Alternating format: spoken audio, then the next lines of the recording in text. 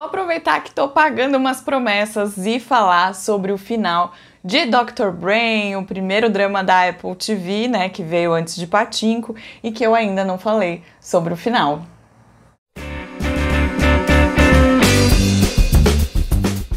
A Dr. Brainzeiros de plantão, não, eu não abandonei o drama, eu assisti, mas por conta do fim do ano e da correria, eu não vim aqui falar do final. Me arrependo, me arrependo, mas bora ter essa conversa, deixa seu like no vídeo e também se inscreve no canal, porque eu tô sempre aqui falando de vários dramas, inclusive esse aqui a gente tem outros vídeos já ao longo ali dos episódios da série, só não falei sobre o final, né? Mas hoje eu vou te falar um pouco sobre o que aconteceu ao longo dessa primeira série da Apple TV, na primeira série coreana, perdão, da Apple TV, é, e acho que você que gosta de ficção científica merece dar um crédito e ir assistir, seja na Apple TV, porque ela tá completa lá e dublada, o que é muito importante, ou se você não tiver assinatura da Apple TV, corre lá no Fansubs, né? Acho que no Drama Fansub, tá? Você consegue assistir, porém, legendado. Um pouco diferente de Refletidas, eu não vou dar spoiler sobre Dr. Brain, porque eu quero muito que você vá assistir, lembrando que se você gosta de ficção científica,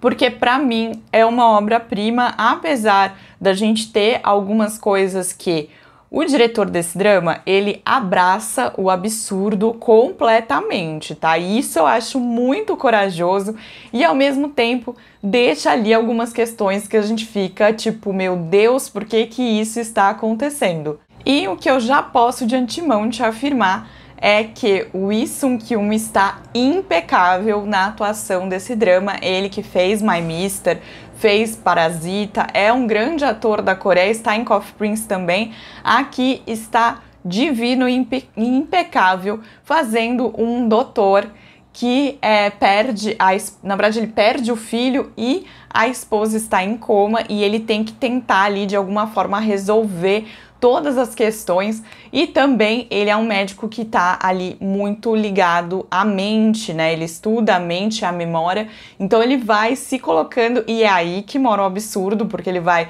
se colocando essas memórias e muito disso também vai mostrando que ele tem um espectro autista, né? E a gente vai acompanhando isso ao longo da série e é, vai mostrando que mesmo ele sendo alguém que não tem é, compaixão pelos outros, ele vai se entregando a uma vulnerabilidade enquanto ele vai tentando resolver o crime é, se o seu filho tinha morrido ou não morrido. Então é uma história muito interessante, completamente assim cheia de camadas. É, foi o que eu te falei, como abraça o absurdo a gente tem uma contemplação visual muito bonita, é, tem ali momentos que parece até David Lynch, falei, acho que em uma das, das nossas conversas anteriores ali, que é um diretor que faz muito, fala muito sobre sonhos, então a gente tem por estar tá falando de mente humana e memória, e é, roteirista, diretor,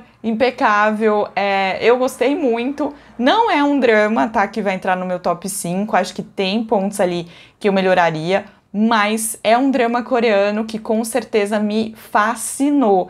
Então, pra quem gosta, vou repetir, de ficção científica, se joga porque é uma série incrível, incrível e tem muitos pontos positivos aí é, para você acompanhar e ficar assim, ó, roendo unha, assistindo de pé. O bom é que já tá completinha lá na Apple TV, você já assiste tudo numa sentada, porque os episódios não são tão longos assim.